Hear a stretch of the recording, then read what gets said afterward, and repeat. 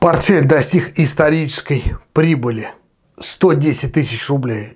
Вот он скриншот, ну чуть-чуть побольше. Если посмотреть историю канала, то максимальная прибыль у меня была чуть более 100 тысяч. Ну вот он скриншот, это из моих прошлых роликов, которые мне удалось найти, зафиксировать. Но тут цифра чуть-чуть пониже. Рынок растет и по чуть-чуть все бьет и бьет рекорды по портфелю. То было 103 тысячи, то 106, то 109, уже более 110 тысяч. И все эти моменты я фиксирую и периодически выкладываю в свой телеграм-канал. Поэтому не забывайте на него подписываться.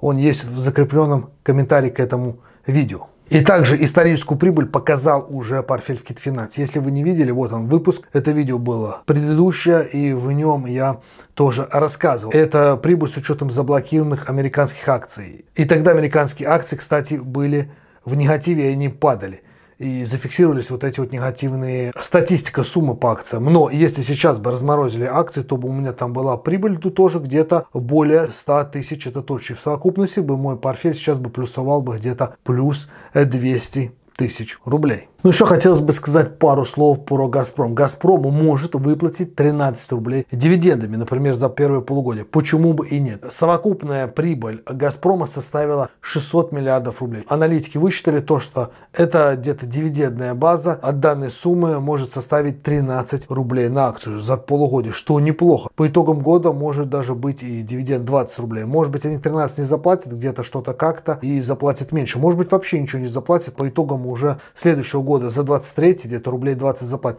Что самое интересное, аналитики высчитали то, что это была прибыль, получена в основном от Газпром нефти. Сам Газпром ничего не заработал. Посмотрим, если это действительно только Газпром нефть, столько прислал Газпром нефти, было неплохо, то если еще сам Газпром начнет зарабатывать и снизить свои капзатраты, то вполне возможно в будущем могут быть неплохие дивиденды тоже на уровне, не знаю, 20-30 рублей за акцию легко каждый год. Поэтому я сейчас набираю позицию в долгосрок. Я это уже рассказывал. Сейчас у меня 290 акций. Вот на этой неделе, да, уже на предстоящей, я планирую набрать пакет до 30 акций. Может быть, действительно, в любой момент неожиданный. Они могут объявить дивиденды, и акция может уже до 200 рублей взлететь, а то и больше. Поэтому надо воспользоваться моментом и зафиксировать вот 300 акций, вот такой пакет. Даже если заплатить 10 рублей, в принципе, 3000, ну, минус налог, как говорится, не лишний. Новых акций у меня в портфеле не было. В том месяце я добавлял новую акцию Тонар никель. Вот он этот выпуск, если не смотрели, посмотрите. Ну а теперь давайте перейдем в Сбербанк онлайн, посчитаем комиссии, посмотрите мои покупки, а потом перейдем в Сберинвестор, там я вам покажу свой портфель, покажу вот эту историческую рекордную прибыль. Ну и пройдемся по компаниям, там есть что сказать, уже у нас объявлено было много разных дивидендов. Поговорим также про портфель в облигациях, продолжаю наращивать облигации. Также у меня 6 облигаций погасились. Я на эти 6 облигаций купил еще снова 6, чтобы доля моя по облигациям не отбавлялась. Я наоборот ее хочу наращивать, тем более с учетом того, то, что сейчас акции все перегреты по отношению, опять же, к моим средним и по отношению к тому, что сейчас идет геополитический конфликт. Поехали, сейчас вам все покажу. Итак, начинаем с пополнения, как всегда. Вот у меня диапазон 1.08.23, 31.08, 23. Это у нас за август месяц, как вы видите, нет операций по данным фильтром. Почему у меня нет пополнения? Потому что я продолжаю тратить деньги с э, дивидендов, которые пришли в дивидендный сезон. Ну, было у меня небольшое пополнение, если вы предыдущий выпуск смотрели, там у меня было Пукит Финанс. Я закидывал, не помню сколько, по-моему, полторы тысячи рублей. Это вот единственное было пополнение. В Сбере у меня в основном были дивиденды. Так как Кит Финанс пока дивы не приходят, то там я пока своими усилиями по чуть это все дело пополняю. Теперь давайте посмотрим, на какую сумму все-таки у меня было реализовано сделок. Вот я скачал, как всегда, экселовский файл с сайта Сбербанка. Э, здесь получается, видите, объем сделок. Объем сделок у меня составил 18 870 рублей 72 копейки. И также вот у меня был НКД, я тоже покупал немало облигаций, целых 7 штук. А, потому что у меня было 6 э, облигаций, погасились, я 6 докупил, чтобы баланс облигаций пропорции не падал. И еще одну я докупил в конце уже августа месяца. Итого НКД составил 190 рублей 97 копеек. Ну и если мы прибавим НКД к данной сумме, в общей сложности где-то на 19 тысяч рублей шопинг у меня был. Вот, прикидывайте, сюда это входили дивиденды в основном, э, и сюда также входили купоны, которые мне приходили. В следующем месяце уже, уже будет у меня отчет дивидендный за третий квартал, там как раз я вам все покажу и расскажу. Открою спойлер, то, что там, я чувствую, будут рекордные квартальные дивиденды. А теперь давайте посмотрим комиссию. Итак, комиссия брокера банка составила 9 рублей 35 копеек, комиссия биржи составила 3 рубля 65 копеек. Ну, самое странное, почему-то вот здесь вот за вот эти сделки, последние три, что-то комиссию почему-то не взялась. Не знаю, может какая-то была акция, не знаю, это я покупал в конце августа, то ли 30 то ли какого-то, не помню числа, были сделки надо отмотать назад, вспомнить. В итоге э, где-то у меня было на 13 рублей комиссии. Теперь давайте посмотрим э, мой шопинг, который я совершал в августе месяце здесь в Сберинвесторе. Шопинг мой начался вот 1 августа. Здесь у меня было куплено Сигежа один лот, что составило 100 акций по цене 6 рублей 49 копеек за акцию. Далее я докупил Газпром 10 э, акций, это один лот по цене 173 рубля 0,5 копеек. И также я добил пакет акций Аэрофлотом до 200 штук, купив два лота, что составило 20 акций по цене 45 рублей 10 копеек. Дальше шопинг у меня продолжился, как видите, 3 числа. А, в ВТБ я купил еще 5 лотов, что составило 50 тысяч акций по цене 2 копейки за акцию. Дальше Россети ФСК, один лот 10 тысяч акций по цене 12 копеек за акцию. Дальше Ленэнерго, лот акций это 1000 штук э, по цене 63 копейки за акцию. Дальше Nvidia 2 штуки, добил, по-моему, пакете до 80 штук. Итого 227 рублей рублей 70 копеек за одну акцию. И все, следующий мой шопинг был вот 10 августа. Здесь у нас было ОФЗ куплено 26 218, одна штука по цене 882 рубля 51 копейка. Дальше ОФЗ 26 241, одна штука по цене 919 рублей 28 копеек. Далее ОФЗ 26 221, тоже одна штука по цене 815 рублей 97 копеек. И была куплена одна штука акции лента, цена 793 рубля 50 копеек копеек. Так, следующий шопинг мой совершался 17 числа. Здесь был куплен Сбербанк Префы, 10 штук акций по цене 256 рублей 70 копеек. Тут, тут как раз они упали, я чуть докупил. И дальше еще вот я докупил еще 3 УФЗшки. Здесь было УФЗ 26 200 42 одна штука по цене 922 рубля 93 копейки, потом ОФЗ 26 225 одна штука по цене 772 рубля 40 копеек и ОФЗ 26 224 здесь тоже одна штука по цене 844 рубля 30 копеек. Шопинг у меня произошел 22 э, августа, здесь я докупил Газпром еще один лотик, что составило 10 акций и по цене 175 рублей 50 копеек за акцию. И шопинг мой завершился вот 30 числа. Здесь я докупил еще ОФЗ, вот это уже была седьмая, 26 221, одну штуку по цене 806 рублей. Также было куплено Сигежа еще 100 акций по цене 5 рублей 83 копейки. Это один лот. И еще один лот. ВТБ я докупил на сдачу, что составило 10 тысяч акций, получается за 2 копейки. Ну, такой вот у меня был шопинг, где-то примерно это в районе 20 тысяч рублей, потому что, опять же, там из этих 20 тысяч был еще, э, помимо дивидендов, было 6 тысяч, э, вернулось номиналов от облигаций. Ну, а теперь давайте перейдем в наш Сберинвестор, и мы там посмотрим мой портфель. Прежде чем мы будем смотреть мой портфель, как же без рекламы моего телеграма, подписывайтесь, друзья. Хочется набрать 2000 подписчиков уже к Новому году, сделать себе такой небольшой подарок. Здесь я публикую свои ролики, вы точно их не пропустите. Вот последний ролик про покупку акций. Новостями делюсь. Вот здесь Юнипро взлетела. Иногда вот видео записи здесь выкладываю. Ну, бывает здесь реклама, не без этого. Монетизировать же как-то надо свое творчество. Портфель от Кит финансово показываю дивиденды, купоны свои показываю. В общем, подписывайтесь. Теперь давайте зайдем в приложение Сберинвестор. Сегодня у нас э, выходной день, э, воскресенье. Торги не проводятся. Видите, в пятницу было зафиксировано 3200 рублей прибавка. Итого, давайте посмотрим за все время. Видите, у меня 112 323 рубля 3 копейки прибыли. Это показывает где-то 14%. Это историческая прибыль. Если посмотреть мои ролики, отмотать все на самое начало, они все есть, даже отдельный плейлист, есть э, мой инвестиционный портфель. Там максимальная прибыль была что-то в районе 100, может быть 101 тысячи. Потом все сложилось. И вот сейчас уже рекорд за рекордом мой портфель бьет. Причем исторически. То есть это уже реальная прибыль. Не надо, конечно же, мне говорить, то, что пока ты ее не зафиксировал, это не прибыль. Друзья, чтобы мне ее зафиксировать, ну это край 10-15 минут, чтобы продать все эти позиции. И то это можно будет сделать и за 5 минут, но так как у меня много бумаг, возможно, понадобится минут 10. Поэтому по факту это уже готовая прибыль. И здесь все ликвидные бумаги, проблемы. С этим не будет, так же, как и с облигациями. Здесь только ФЗ все это легко продается. Значит, то ли еще будет, э, возможно, мы перейдем на еще исторический рекорд. Вот было 106 тысяч, 109, по чуть-чуть рынок растет. Пока геополитика более-менее, каких-то плохих новостей нету, но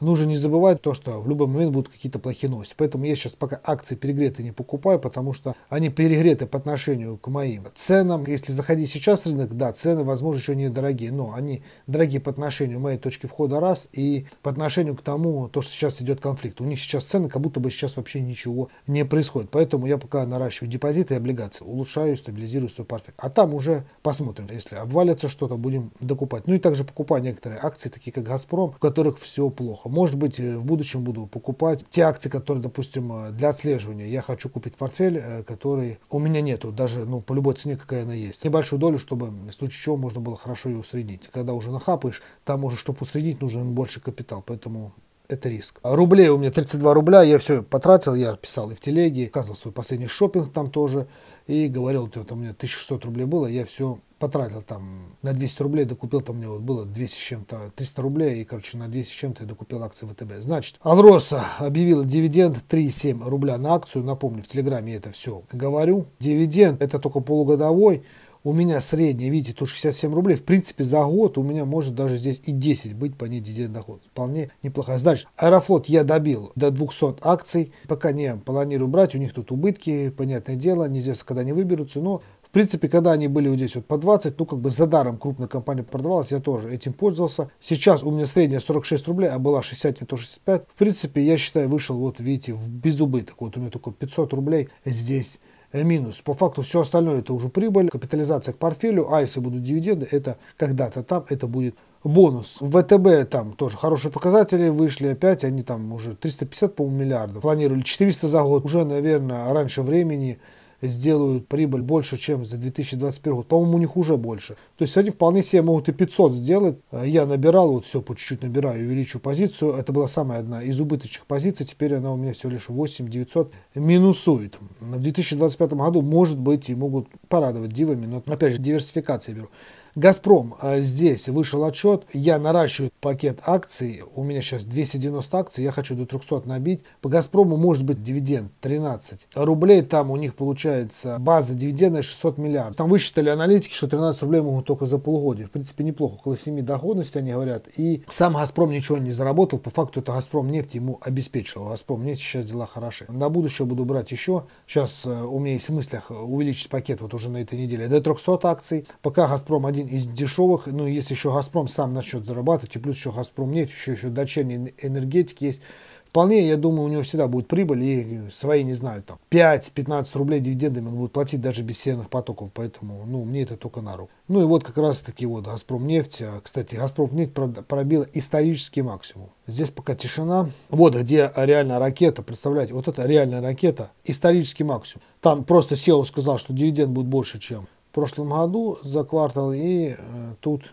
выстрел. У меня всего лишь, видите, одна акция, и то она уже удвоилась, вот 590 плюсует. Хотел я, конечно, докупать, видите, у меня средняя 414, а здесь она везде, видите, как торговалась, даже и точки входа не было. Ну, это такая защитная история, как и Черкизова. Койл, вы, наверное, знаете, объявил байбек у нерезидентов.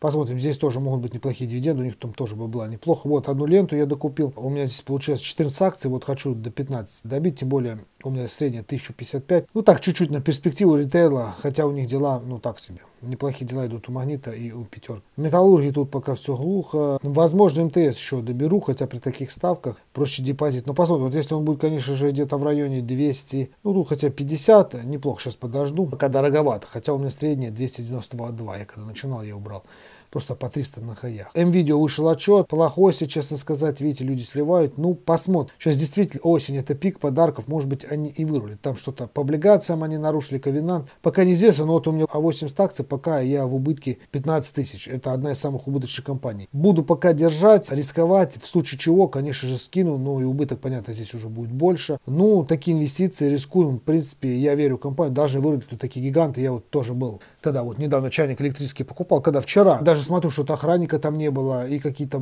ребята там, новые консультанты, что-то как-то не очень меня обслужили там. Но есть и старые ребята, которые до сих пор работают. Сказать, что там техники мало у них и все плохо, я бы не сказал. Техники всего, в принципе, навалом. Акции есть, вот кэшбэк сейчас 20% может заманивать. Я купил товар, и мне там кэшбэка начислили 20%. Посмотрим, что и как будет. Пока спешить не буду. Выводы пока рано. Если уж следующий отчет через полгода тоже фигню какую-нибудь покажет, то может придется и зафиксировать убыток. Хотя, может быть, и буду держать, пока ничего не буду говорить. Хотел вообще нарастить до 100 акций, у меня пока 80 рискнуть, но что-то последний отчет как-то мне, облигации это не очень нравится, пока оставлю вот так, дергаться, ну, наращивать тоже пока не буду. Если вдруг что-то будет получше у них, понятное дело, акция сразу же взлетит, я тогда тоже буду добирать. Московская биржа неплохо растет, посмотрите. Может быть, будут дивиденд и рублей 10 в этом году. Они в том году зажопились, а, может быть, с учетом того года. И это у них неплохие показатели, могут неплохо заплатить. Но у меня тут всего лишь 100 акций. Так, Новотек у нас э, дивиденд тоже объявил, небольшой, я не помню, 34 что ли рубля. Роснефть здесь пока тишина, все. Так, Ростелеком что-то пока не объявляет, ни дивиденды, ничего. Хотя Минцифры заявили, по-моему, что они заинтересованы в выплате дивидендов. Сбербанк я нарастил, видите, до 400 акций. Отлично, если будет 30 рублей на акцию.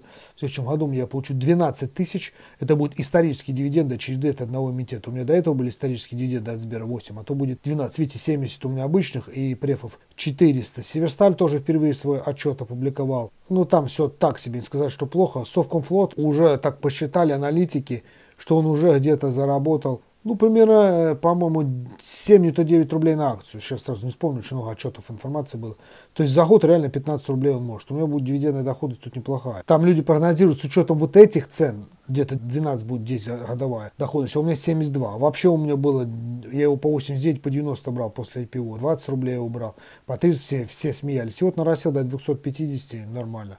Прирост, смотрите, уже у меня 10 тысяч, да еще и дивы будут. Даже если 10 рублей, вот 2500 рублей в казну я положу. Татнефть тоже объявила дивиденды. 34 рубля, по-моему, на акцию. Тоже сейчас торгуются очень хорошо. Фосагра там немножко то, что 126 объявила, наверное, вот это инвесторов расстроил. Но у Фосагра сейчас пока и прибыли хуже, чем в прошлом году. А вот энергетики растут, например, вот э, Юнипро. По непонятным причинам, может быть, инвесторы надеются на какие-то полугодовые дивиденды, хотя тут у нас внешнее управление, тут все сложно. Хотя, может, кто-то что-то знает, не знаю. НЛ тоже растет, у них, э, получается, убытки были в том году, в этом году более-менее, но у них сами по себе убытки еще, и вряд ли они будут дивиденды платить, но инвесторы, скорее всего, надеются. Сейчас откупать нет смысла энергетиков, их откупать надо было, когда была высокая ставка, у них было все плохо. Ну а сейчас, когда ставка тоже высокая, и тогда, когда была высокая, но тогда они были дешевые, депозиты были выгодны, а сейчас высокая ставка, вроде как э, выгодно депозиты, но люди почему-то покупают акции, потому что, хотя такие энергетические компании, их хорошо покупать, когда они не растут, а сейчас как-то ставка высокая, и они растут. Обычно, когда ставка высокая,